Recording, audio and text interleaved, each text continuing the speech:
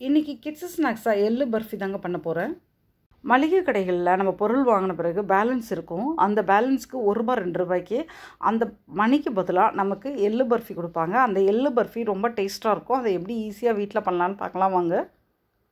ஒரு பேன் வச்சு பேன் சூடானதும் நூற்றி இருபத்தஞ்சி எம்எல் எள்ளு போட்டிருக்கேங்க. எள்ளை நல்லா வறுத்துக்கலாங்க.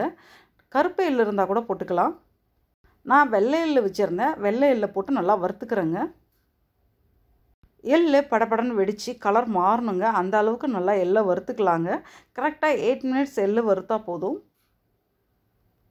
இது மாதிரி கலர் சேஞ்ச் ஆகிடுங்க பொரிய அரிசி கலரில் இது மாதிரி எள்ளு சேஞ்ச் ஆகிடும் இப்போ எள்ளை எடுத்து ஆற விட்டுறலாங்க. ஒரு பிளேட்டில் போட்டு. இது மாதிரி வெள்ளை கலர்லேருந்து இது மாதிரி கலர் சேஞ்ச் ஆகிருக்கணுங்க எள்ளு. எள்ளு எந்த அளவுக்கு எடுத்தோமோ அதே அளவுக்கு நூற்றி இருபத்தஞ்சி எம்எல் வெள்ளம் எடுத்திருக்கேன். அதில் அரை கப்பு தண்ணி ஊற்றிக்கிறேங்க ஐம்பது எம்எல் தண்ணி ஊற்றிருக்கேங்க வெள்ளைப்பாகுவை நல்லா கொதிக்க விடலாங்க. ஃபஸ்ட்டு நம்ம ஒரு ஃபைவ் மினிட்ஸ்க்கு எந்த பதமும் பார்க்க வேணாங்க. நல்லா கொதிச்சா போதும். வெள்ளைப்பாவு கொதிக்கிறதுக்குள்ளே பட்டர் ஷீட்டை கட் பண்ணி கொஞ்சமாக நெய் தடவி வச்சுக்கிறேங்க. சப்பாத்தி உருட்டுறதுலேயும் கொஞ்சம் நெய் தடவி எடுத்து வச்சுருக்கேங்க.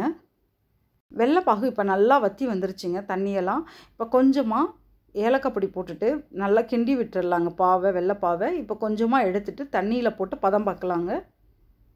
வெள்ளைப்பாகு போட்டதை இது மாதிரி கல் மாதிரி வருங்க. இதுதான் கரெக்டான பதம். இப்போ ஸ்டவ்வை ஆஃப் பண்ணிடலாங்க. ஆஃப் பண்ணிவிட்டு எடுத்து வச்சுருந்த எள்ளை வெள்ளைப்பாகில் போட்டு நல்லா மிக்ஸ் பண்ணி விடலாங்க. வெள்ளைப்பாகு எள்ளோட சேர்த்ததுமே இறுகிடுங்க.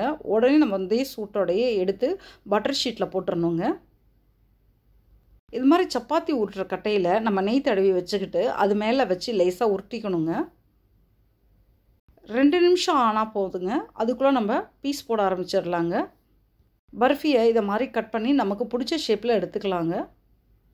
இன்றைக்கி நான் கடைகளில் கொடுக்குற மாதிரியே அதே ஷேப்லேயே கட் பண்ணியிருக்கேங்க. குழந்தைங்களுக்கு இன்றைக்கி ஈவினிங் ஸ்நாக்ஸாக எள்ளு பர்ஃபி தாங்க பண்ணேன் நான்.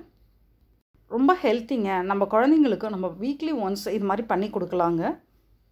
நம்மளுடைய பாரம்பரியமான இந்த எள்ளு பர்ஃபியை நம்ம குழந்தைங்களும் சாப்பிட கற்றுக்குவாங்க நம்ம இது மாதிரி அடிக்கடி பண்ணும்போது வீட்டில் எல்லா சத்துக்களும் நிறைந்த இந்த எள்ளு பர்ஃபியை நம்ம வீட்டில் இருக்கவங்களுக்கு அடிக்கடி நம்ம பண்ணி கொடுக்கலாங்க. நம்ம முன்னோர்கள்லாம் நம்ம வீட்டில் அடிக்கடி இந்த மாதிரி ஸ்நாக்ஸ் சாப்பிட்டதால் தான் ஹெல்த்தியாக இருந்தாங்க. நம்மளும் அதையே பின்பற்றுவோங்க. உங்கள் வீட்லேயும் இது மாதிரி ஒரு எள்ளு பர்ஃபியை ட்ரை பண்ணி பாருங்கள் ரொம்பவே நல்லாயிருக்குங்க நம்மளோட சேனலுக்கும் ஆதரவு கொடுங்க. நம்ம சேனலையும் மறக்காமல் சப்ஸ்கிரைப் பண்ணிக்கோங்க.